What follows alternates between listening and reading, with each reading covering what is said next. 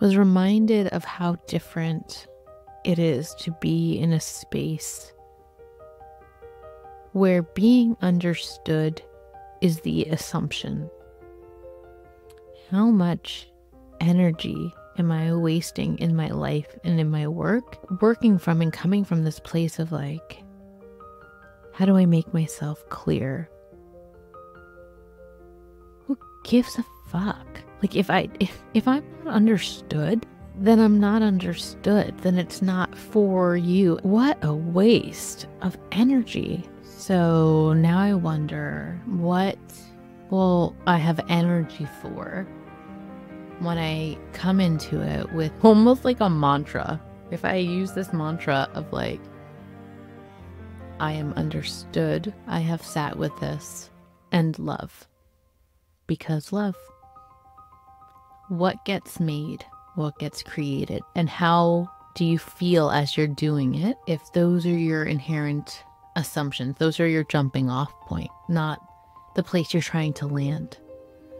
What if instead of doing work in the hopes of landing in the space of now I'm understood, or my work, it will speak to me and I will hear it when it's good enough to be heard, or now I achieve love, now I can love it, now I can love myself because this thing is made. And what if you start there? You're already understood.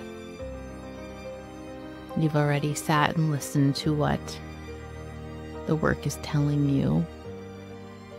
And love is already abundantly present. Help Me See is a podcast dedicated to the art of seeing. It's a space for the restless visionary with an insatiable desire to create the life and work you're meant for.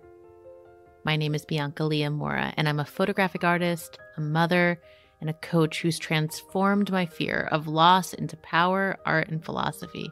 One of the scariest quotes I never want to say is I wish I knew at the time. But I truly believe that we have the innate ability to bring our wise 2020 hindsight to our now.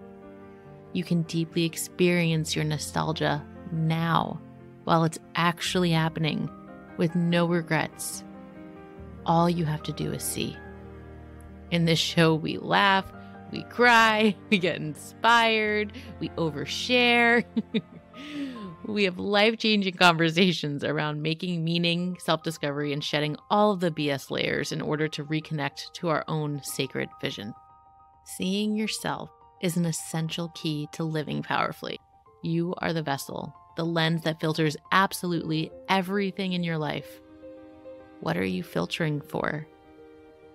Whether it be conversations with fellow artists and visionaries or my solo audio journal style introspective ramblings, each episode is meant to feel like an exhale, an unraveling of truth, a moment for you to be able to put your finger on something that you haven't been able to for far too long. Come exactly as you are it's perfect. Honor your instincts. Let's uncover some of the most important things in our lives, which all too often can slip out from our view. Let's commit to seeing and consciously creating what only you can in your one and only life. Let's dive in. Hello, hello, and welcome to another episode of Help Me See. Uh, today I'm coming to you with some half baked intentions around what I want to share. So, I really want to talk about my workshop that I went to this past weekend. Uh, this past weekend? Yeah, I guess it's been a week since I've been back, maybe a little longer. I feel like I haven't been able to process it, and perhaps I can process it here live with you. Um, my partner, he's like, I don't know, I'm kind of worried about you. Like, it's you're just kind of weird about it. Like, you're not I'm not saying much, and I don't. And I'm like, yeah, because I don't know what the, I don't know what to say. Um, and I was listening to something the other day, and they reiterated the quote that, and I remember how strongly I, um, don't not disagree, but contend with it. Um, share from the scar, not from the wound. Uh, and I just don't like that. I totally understand it. I respect it. And I like for what, for the, for when people identify with that. And, um, you know, I don't believe in pushing to share when you're not ready to share or, you know, I, I believe it from that aspect. But what I don't like about it is the, um, the, you know, the inherent shame that can be cast the other way around. Um, if you're sharing before you've healed or before you've quote unquote figured it out and put it in perspective and like, you know, compartmentalized and I don't know. Not that that's what it means. Like, I, I really don't like this idea of like showing support for one school of thought inherently means you object or you don't support another. Like, I don't believe that. But I just want I feel the need to highlight how important it is to freely share if you feel comfortable to do that and if that's something you crave. Um, I think it's important for someone to get um, just insight into what it looks like to hear someone thinking something through um, that is not all figured out already. That is not something that is completely healed. Um, because I think that if everyone in the whole world only shared from a place of being completely um, healed or figured it out, or from a place that's not so raw, then it's very isolating for us in our moments when we are just desperate to have seen something that feels anything like the way we feel now in this raw moment, right? I think about that beautiful blurb from uh, Ethan Hawke where he talks about, um, I've shared it like a million times now on Instagram, how, you know, people go about their lives not really caring about poetry or art sometimes, and until they experience something or like losing someone or falling in love and like they just are desperate to know and under- if anyone else has felt anywhere near like they feel if there's something that they can encounter that makes them feel like seen or reflected or um, you know not on a in a completely different galaxy um, with their pain or their joy and um, so yeah i you know it's not that i feel like, oh, the way I process can is so helpful for others because I do it so elegantly. Not at all. Not at all. But I do feel like, you know, ever since I had my kind of whiplash moment with postpartum anxiety and depression, and knowing that I have some level of comfort um, and okayness in just being transparent and like whatever it is what it is. This is my truth. This is honest. Um, my intentions are pure so take it or leave it. Uh, and i don't feel like it's a, a painful thing for me to do to share. Um, that's why i kind of feel this now uh, pull this draw to just oh, i don't really know what to say so let me hit record while i'm meandering around what the fuck to say So here I am. Hello.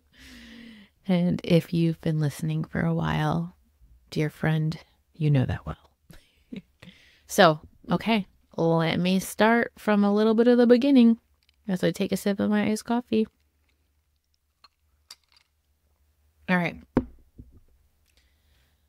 I applied for this workshop from a photographer um, that I've been following since 2009, I think. His name is Alec Soth. And this photographer means a lot to me because when I discovered his work, it's not just that, oh, I liked his pictures and the pictures are beautiful and powerful, or his style or whatever. It's that when I discovered his work and learned about how he did his work, I discovered a new way of life that's possible for me as a photographer, as an artist. The way he immerses himself in his long term projects is something that I mean, I'm, I had surely heard of before in some way, shape, or form, but we all know we could hear something a million times and it never lands until it lands. And there was something about him and his work and his story that just landed with me. And um,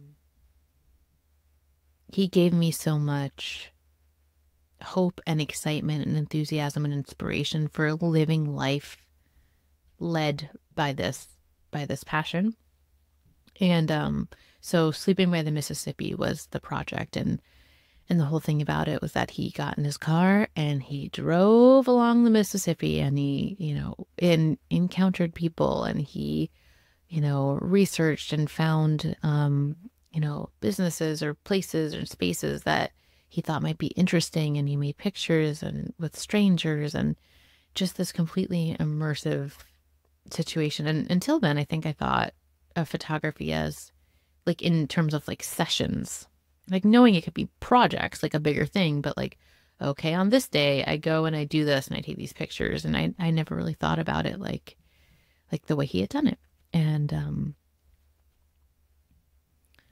so speeding back up um, when I saw that he was hosting an intimate workshop in his home, I was like, what the fuck? That's amazing. What is he doing? That's crazy. And also wonderful. And I cannot even believe it. And um I had felt kind of jaded from applying to a lot of, you know, open calls or this and that and not getting selected and you know having spent, you know, admission fees or uh, just a lot of time. And I just kind of felt like so over applying for things. And I saw that and I really wanted to apply for it. And I don't know, whatever with the kid, life was just busy and I didn't. And then he came on uh, Instagram and he said, uh, you know, that they were blown away by how many submissions they got from like all over the world and he was going to do one more uh this year and i was like oh it just when he said and i'm to do one more i felt like i need to but then i was like trying to talk myself out of it i talked to my partner and my partner's like you need to apply just fucking apply to that I'm like oh okay i will so i was in San Francisco on work. It was one of the weekend days that I had time. So that was like the whole goal of the day. I'm like, I'm going to go to a coffee shop. I'm going to apply. I sat down. I was like, oh my gosh. I just started, you know, you have to submit some pictures. And then he asked to submit something that was like, um, oh, I, I read it. I read it on the, on one of the previous episodes. Um, I don't know which episode I read that on, but I remember reading it. I read my what I submitted. Um, it was one of those things where I felt like, is this embarrassing? Like I, I had just stream of consciousness wrote it, like just came out of me, and that's it. And then I started rereading it, and I was like, oh, is this like I know I'm being honest, but is this embarrassing? and I was like, you know what? I can't. I cannot overthink this. This is my truth. Whatever. Submit. And when I found out I got it, I was in tears. Like I found out in the bathroom of a gas station as I was road tripping from Nashville to, to back to Ohio from a work event, uh, a podcasting conference. And my friend thought someone had died because I was crying so much and shaking. I couldn't believe it. Could not believe it.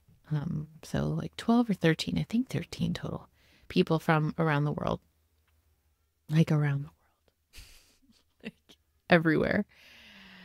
And I was so excited, couldn't believe it. And also just felt like, oh shit, I actually have to do this now.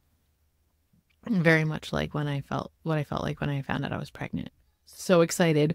Oh my God, miracle. And then realizing like how it has to come out of me. oh, I have to walk through this person's door. Oh my God. Oh my God. My quick side note here is when I actually did walk through this person's door and he opened the door so kindly and said, Hello, welcome. The first thing I said to this person that I've been looking up to for so long and I was so excited to see him and felt so in shock was I feel like I'm on drugs.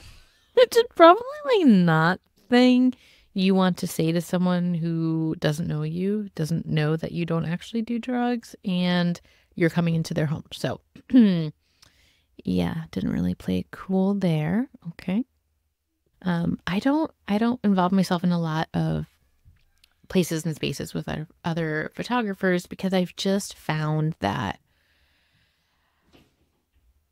I don't know. I just haven't. I I oftentimes don't resonate with the way they're structured or the way people are like, choose to relate to each other. And it, but I knew, I knew, I knew this would be different because not only did I have trust in him, just because of and yeah, I don't didn't know him at all. But there's something about his work and the way he went about his work that I just had this inherent and deep, peaceful trust in him um in his heart and i just knew that the people that would be drawn to him must have that thread in them as well. So i went. The day before i was freaking out to the point of like i had that delusional thought of like there's no one else is is this freaked out. No one else is panicking the way I am. Like that's really what I thought. There was a WhatsApp group chat and people were like, "I'm so excited. I'm blah, blah, blah. like so sweet, so enthusiastic." And I wanted to throw up and crawl under the earth. Everything that I was putting onto my slideshow for my presentation for this, I was like, I I'm embarrassed. I don't know. Everything all of a sudden I hated everything. This doesn't make sense. Am I the biggest hypocrite in the world? What is going on? So I didn't really, I didn't really understand what was happening until I was there. Um, I was basically the token crier. I cried so much and I couldn't rein it in. Like, I, I mean, of course, like I quietly cried, like in each person's presentation. Not to be a distraction, but my own presentation wasn't an exception, and I could not choke back the tears. I just like, I felt so open and raw and fragile the whole time I was there. Um, but you know, as I sat and I listened to each person's presentation and you know, saw the work and then was able to hear a little bit of their heart and their soul and their background and context. I just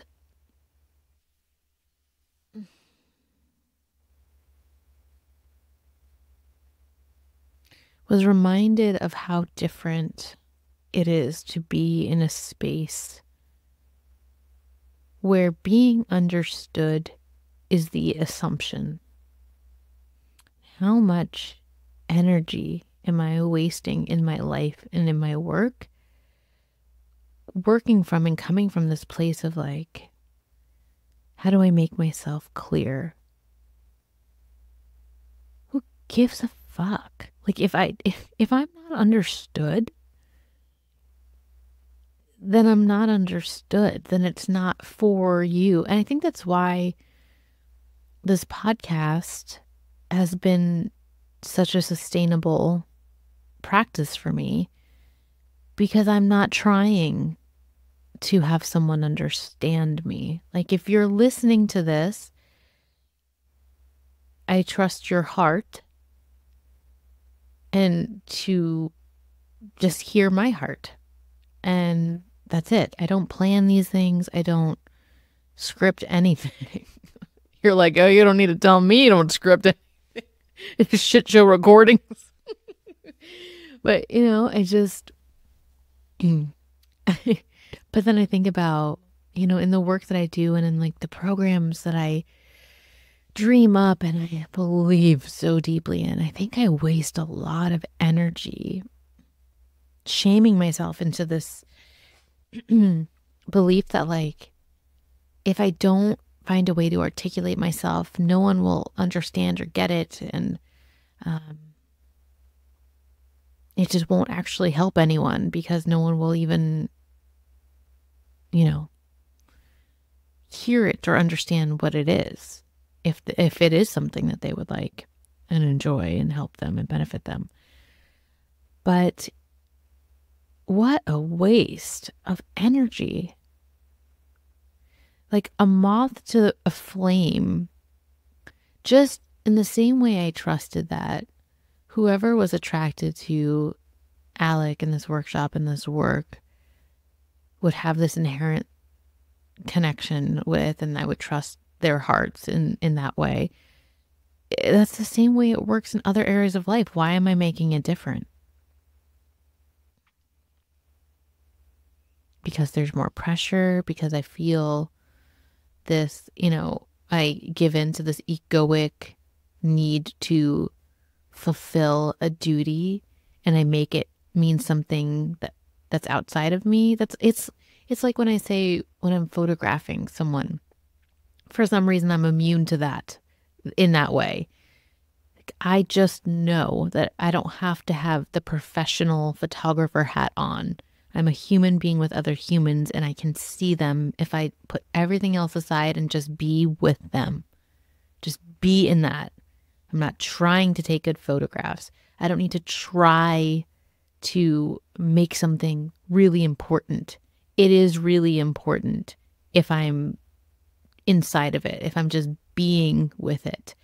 And um, as I sat there, and although everyone there lives such different lives and has such different work and such different perspectives and such different backgrounds and such different experiences and opinions, I'm sure, and all of that, I felt and empathized and felt so in love with each person and what they're doing and believed in their efforts and their way of being in the world. And so then when it was my turn to go up, the feeling in my body of like, I'm not, there's no reason to not defend, but like, there's no justification. There's no, I'm not trying to set the stage to be understood. I'm not trying, I don't need to over explain something. I just need to talk about my work. So it's like, felt like being in my underwear. You know what I mean? It felt like there's nothing, it felt like, wow, I'm actually far more afraid of being understood than not understood.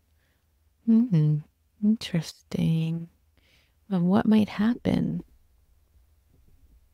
if I remove the need to feel like I'm doing something quote unquote right or clearly or powerfully when it's outside of my photo work? I felt that although, of course, I am deeply connected to and with my work, with my personal family work, with every time I lift up my camera and I'm photographing a client, I fall in love with each person. I love I see and feel this I don't even know. It sounds like creepy and weird like you fall in love with everyone you take but I it's like every time I'm photographing someone regardless of how close or not I am with a person, if it's a, a client I haven't met before, or someone that I'm just acquaintances with, or someone that's a close family friend, like I I feel like tears are brought to my eyes every time, like seeing them in that way. And um, so, yes, that work is so important. But what I realize is exactly that is what I feel for when I'm creating programs and witnessing artists in this other way, like in the space of connection, in the space of sharing, in the space of supporting and nourishing each other. And I have this deep, fierce, rageful, like temperature hot. Like my, I feel like my body gets hot with like rage when I hear about these places and spaces where there's just a gross abuse of power and privilege and role um, when addressing artists. Like portfolio reviews in general, uh, I've always had a problem with. I don't like them. I don't opt for them. Uh, I don't oftentimes want to hear people's opinion of the work because it feels irrelevant in many ways until it's not, until, you know, you're trying to get yourself in a place or space. And it would be very helpful to hear what someone with a different lens thinks. And, um, but if you're not grounded in, I mean, you're never going to be immune to feeling hurt, but if you're not grounded in, what it is you're doing, that's a really scary and risky and damaging position to put yourself in, I believe. Uh, I've heard horror stories that I won't even repeat that, I mean, could completely derail a person's life and make them go in a different direction in their life. Uh, and I don't know, in those moments, it feels more pressing to me to create dialogue and connection around the sustenance of this type of life, even more so than making photographs. Even more. All that being said, there were one on ones in during this workshop and um, with three different people. It was, of course, Alec, and then uh, he invited uh, two uh, other artists, Stacy Baker and Vince Leo. And I mean, I just knew I had to trust that they shared a similar heart and intent. And so I wasn't going into it like braced for, you know, thinking it wasn't going to be a good experience, but I definitely felt very raw and vulnerable going into that because the whole experience made me feel so many things that I haven't felt before. And um, I, when done with the proper care and with no ego and with simply purity of intent, those situations can be so powerful, and they were, and beautiful. And my time with each of those people will sit with me for a long time, for a very long time, forever. So there were a lot of um, pieces of um, just feedback or questions, um, conversations, and uh, that will stay with me. And I walk away knowing that the thing, though, the thing that I need to do most from that was the thing that I felt the le- the most resistance around. And I know I had, I instantly knew I had to do it because I instantly burst out crying when he said it. and it says nothing about the way he delivered it. It was from Vince, and he was, um, yeah, I'm, I'll just share this one part. I don't need to disclose like all of the context or whatever around all of it um because it's so personal i mean not so personal but it's just so individual um but like i had put a bunch of my photos out and we were talking he was asking me you know questions around the work and like the volume and he he basically said to me to pick one to sit with one photograph just sit with it for a really long time until you hear it. Hand and I just like instantly started crying. Um, because I know. oh, you know, we all know we're just searching for the right person to give us permission, even though we really don't want to think about it that way. We're always searching for permission to do what we want to do, to be what we want to be. And I'm very much like a fire hose type of person. Like, if I find something that I love, I just, you know, hyperfixation style, or even with pictures, just like, oh, it just goes into this flow state of just take the pictures. I love to take, take, take, take the pictures, see, see, see, and put them on an archive and visit them later when I need it. Or, um,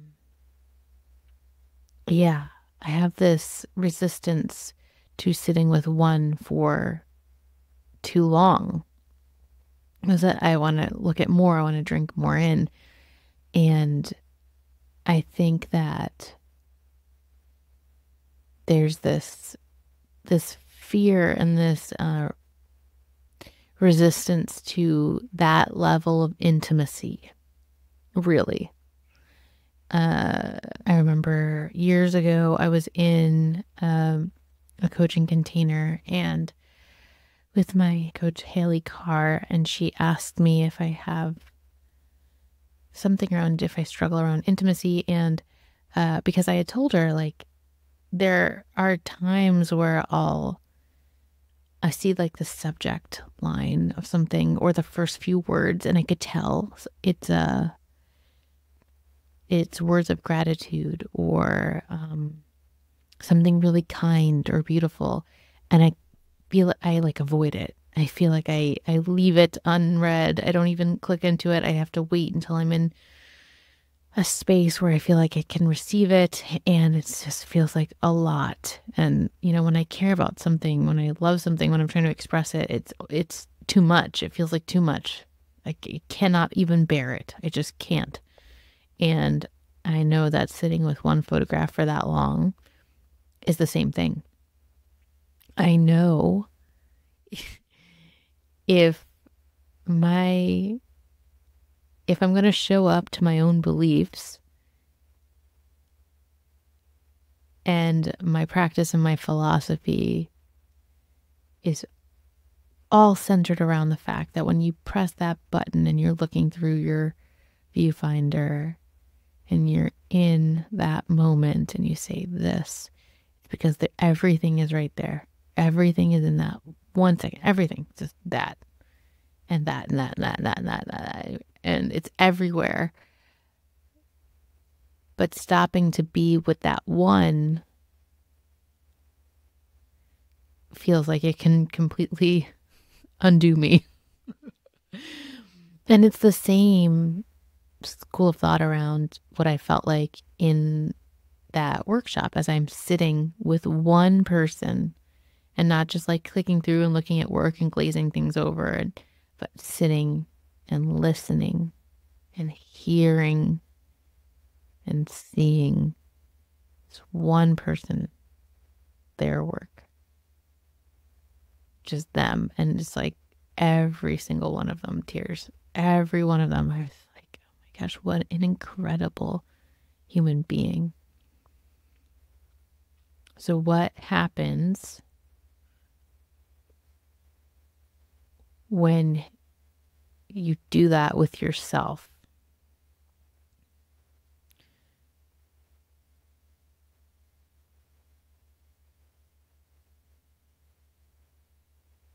I have an easier time doing that with myself when I work with my photos, like my cell phone photos of uh, in Nostalgia Now, in Sacred Seeing, like the at the end of the month, the templates where I give prompts and then you think of the prompt and you look through your photos and you work with your photos in that way and it helps you really like dig into the self inquiry and exploration and exploring your relationship with yourself and your photographs and your life. And um, I find that I can give myself so much more grace about you know my motherhood and my what I'm doing in my life, but to look at the photographs that I take in that way under that context of like listening to them without intent of being the conductor of like making something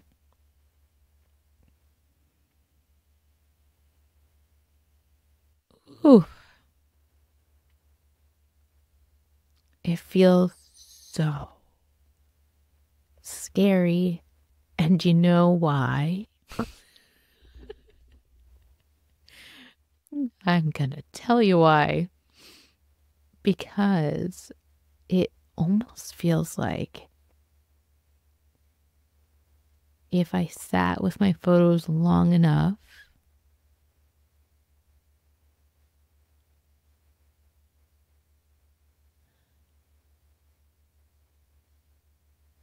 I would inevitably be confronted with having to surrender to loving myself.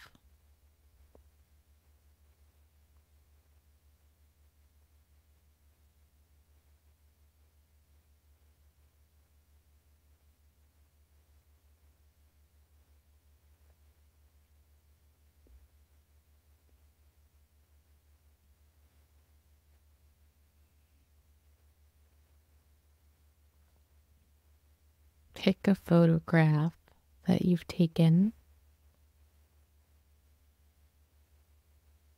and just sit with it and stare at it for an uncomfortable amount of time.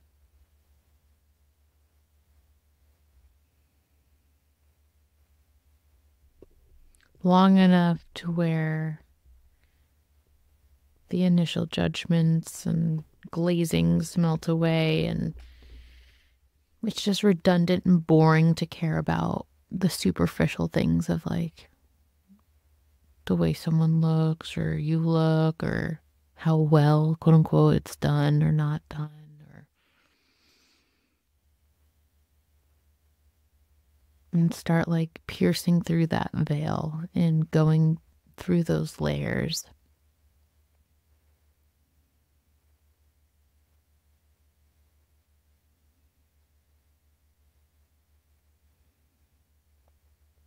It's like the why seven times thing. Like why? For what purpose? For what purpose? For what purpose?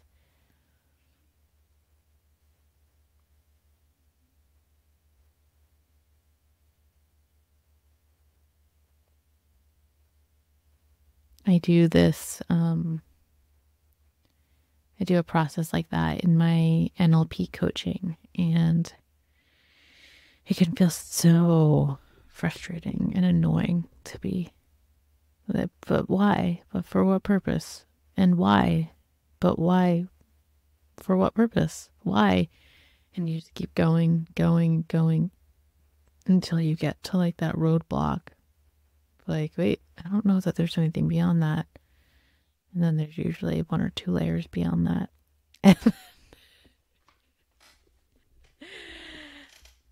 and then once you kind of unlock that, there's just no one see unseeing that. And that is the power of this medium, the power of coaching, like self discovery, lenses. It's like, it's not that we always have to focus on us and what's going on with us. I feel like there's a lot of benefit in focusing more on the external world and then going internal when you start feeling ungrounded or whatever it is. But once you can understand what's driving the results you're getting in your life, the experiences you're getting in your life, the actions you're taking in your life. You don't even have to do it, like you just see it. And then it either becomes super energizing or super deflating in a good way of like it loses its power if it's something that's not resourceful for you. what I did when I did wine, I ended up with the word love, and I was so I was like rejecting it. I'm like, what? What is that for love? Like, I kept like, I kept feeling no, no. I mean, that's beautiful, but like, no, there's something. You know, it's got to be. No, it's something else. but like, I sat there and I got so welled up in front of every single person um that I met and like just thinking about them. Just thinking about each one of those people, I could cry and it's why like it, it's love.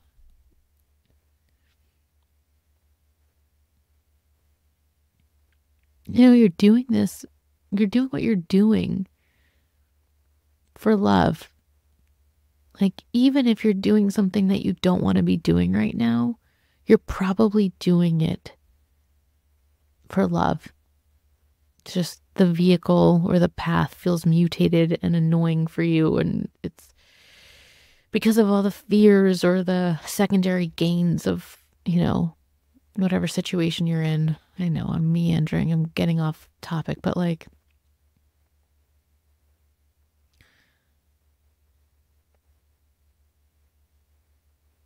I don't know.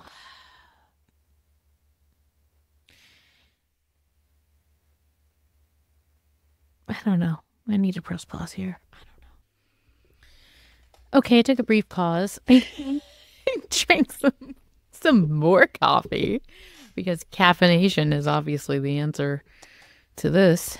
Um, and I'm not even going to try to um, bridge and and and flow into something coherent from from that last piece. I'm just going to let that linger because that's what feels right. And but now moving on um so okay, I'm there. Uh have, you know, one-on-ones, have, you know, group discussion. Oh, just deliciously immersed in the discussion on projects and, you know, creating work and being with, you know, making things of them and making books and this and that. And, um, hearing about his new project, uh, Alec's new project, and asking him questions about projects that I've followed for years and all this stuff. And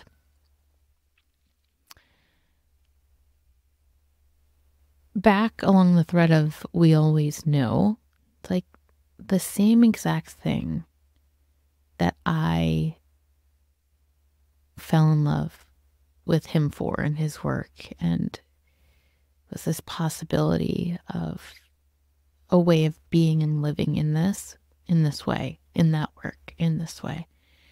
And one of the most important things that I took away from being with him in this space. Of course, it was so valuable to hear someone speak so earnestly and transparently about process and, you know, behind the scenes stuff. And that's the context is always really wonderful and just sobering and um, demystifying and it really helps clear this ambiguous fog of you know the fine art world or you know whatever. But my one of my favorite parts of being with him is watching him talk about work his work the work of others. Like it was real really weird. It was like I was loving what he was saying and listening to what he was saying specifically, but there's this major part of me that was kind of like felt like I kept getting up out of my seat of consciousness and sitting in a different direction, looking at him in a different direction of like, not in a different way, but like I'm hearing the information he's saying, but the information that he's saying is almost irrelevant. Just drinking in what it looks like to see someone in their life in the way he's in his life and and sharing so honestly and openly about the work and how he went about the work and changing directions in his work and going back in another direction that he didn't foresee doing and uh, just well all of it. And so i leave that workshop refreshed and re-energized for getting back to that it didn't leave me but i also have really let a lot of the pressures and um, the noise constrict me and drain me, really energy wise, drain me from just actioning more on the things that I want to do. So now I wonder what is possible? What will I have energy for? when I come into it with almost like a mantra, if I use this mantra of like, I am understood, I have sat with this and allowed myself to listen to what it has to say to me and love because love. what is possible if that's the jumping off point? What gets made? What gets created? And how do you feel as you're doing it? If those are your inherent assumptions, those are your jumping off point, not the place you're trying to land. What if instead of doing work in the hopes of landing in the space of now I'm understood, or my work, it will speak to me and I will hear it when it's good enough to be heard. Or now I achieve love. Now I can love it. Now I can love myself because this thing is made. And what if you start there? You're already understood. You've already sat and listened to what the work is telling you that it wants to be, that it wants to do, that it wants to emit, whatever. And love is already abundantly present. Love. You've you've even just come to the starting line because of love.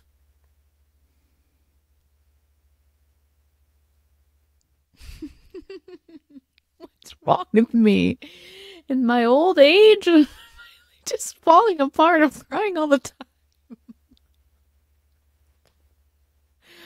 it's so ridiculous and stupid, but I won't apologize anymore. It's because I fucking care, and I'm not too cool to care.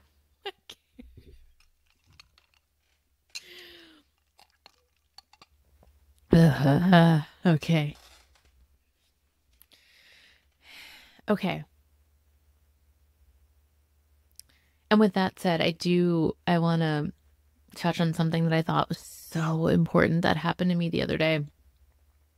Well, actually, this morning I was I was voxing with a client, a one-on-one client of mine that I love so so much, and um, I was sharing with this person about my, you know, how recently I've made some um, big moves in terms of debts and pulling from savings that I didn't want to pull from and, you know, doing all this and making actual moves like like actually doing it instead of in my mind being like okay just come from this place of non-attachment release um the need to feel pressure of bringing in income. And no actually setting up my life so that that is the actual reality being lived versus trying to make myself live from the reality when the reality isn't so.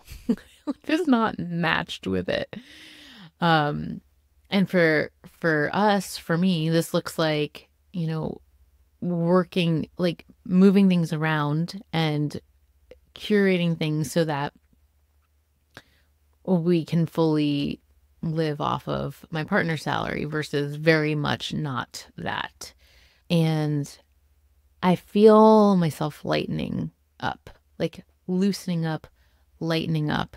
I feel myself moving more freely and acting more on the things I want to do. And I, I do believe it's because the energy is moved. And with that, I have opened up a space of responding a little bit differently. And there was this last minute fishing trip that was that Ben or my partner was invited to, and he was able to take our son, our five year old, and it was like a big deal thing because I guess this chartered experience was meant to be for clients that um, last minute couldn't do it, so he was getting the ticket for free, and it's usually something that's like really expensive, and blah blah blah blah blah. And I was full of all of these reasons, very good reasons, might I add, of why this wasn't a good idea. I mean, it was like a six-hour boating trip. They were leaving at five thirty in the morning from port, so he he had to get up they had to get up at like 3:45 in the morning and drive an hour and a half to the port. And like 6 hours the kid he's been so whiny lately. Like we went to an arts festival and he was just like whining whining uh and we're mobile and walking and doing things. I'm like stuck on a boat. He's the only kid. 6 hours fishing. He's never done something like this.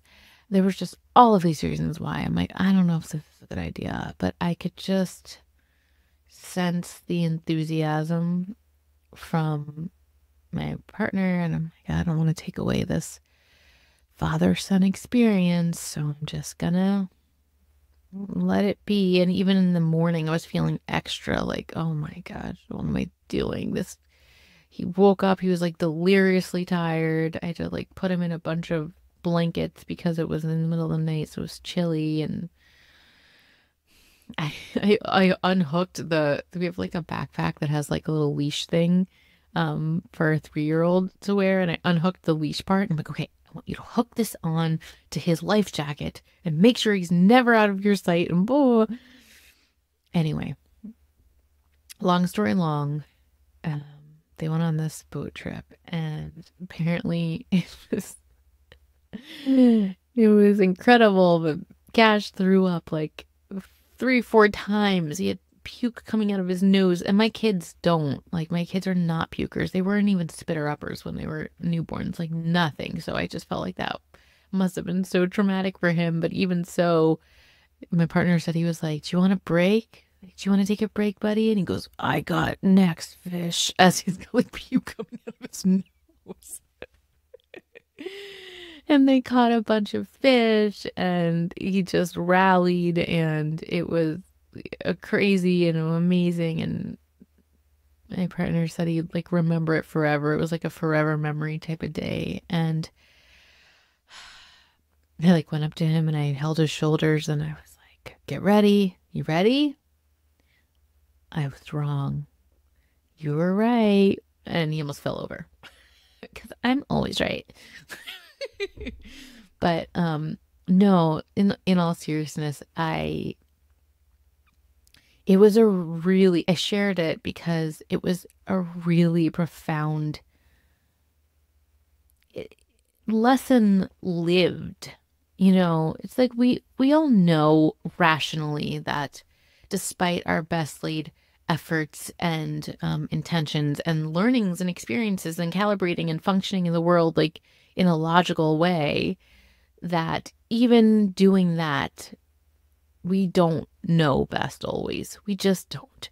But to feel the apprehension in my body, feel that trepidation, feel that hesitance, and go on and let him do that. And then have them come back and see the joy, the deep joy and the bonding and the experience that came of that even though it wasn't all quote unquote good. Like there was throw up and he wasn't feeling good but he still loved it. It was like the bottom of the list of what went wrong for him. And like um it actually made it even better you know? Um and having if i were to to have vetoed that experience, they wouldn't have that. And those are like, those are the things that make life worth living. And I could have never known if you would have told me outside of the emotional impact of that trip.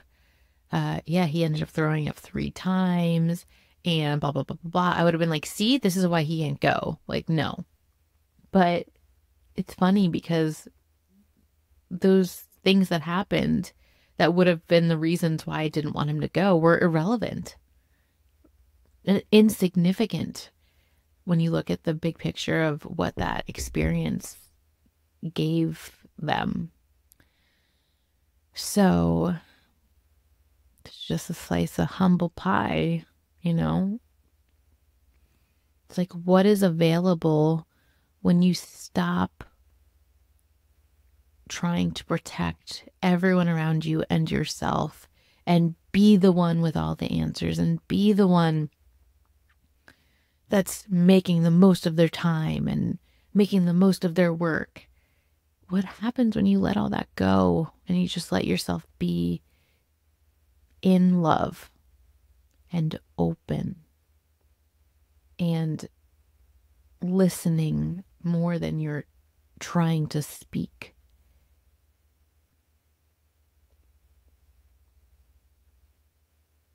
And know that you're understood. And even if you're not cognitively understood, you are felt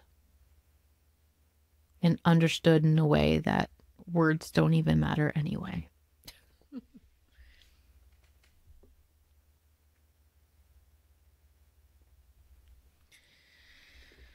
so, yeah, that is what I have for you today. I feel so deeply blessed and fortunate to have gone through that experience um, and shared space with just such beautiful human beings. And um, yeah, I'm sure I'll be unpacking that for a, a long time. I would love for you to take some of the prompts that I opened up hear some of the questions um, and really like sit with them. I'm the number one offender of being like, that's that's a good idea, and then not, or just being like, oh, that question is such a good question, and then like not actually answering it, just being like, oh yeah, good point, okay. So I don't even remember everything that I prompted, but uh I'll go through the show notes or I'll go through the um, captions or whatever transcription and then put it in the show notes so that you can refer back to it. I hope that you're having a beautiful week. And um, if you are wanting to connect more, if this opened up something in you, um, and you want to talk more about it, feel free to send me a DM on Instagram. It's Bianca Lea Morra. Uh, that'll be in the show notes. Um, I'm also open for remote photography booking from anywhere in the world. And I, which uh, at this point in time is a completely pay what you want, pay what you can, whatever price point. Um, because I am just so enthusiastic and open to the experience that I don't want a silly thing like money to be a barrier. Um, I also, uh, if you are local, I have my books open for in person sessions. I am in the Cleveland area. And the other way to connect with me would be uh, over Zoom. I offer coaching and um, programs around connecting to your craft and being with each other in a space much like the space that you are listening to now. So that's it. Any information you could want will be in the show notes, and I look forward to catching you next time. This has been an Awkward Sage production.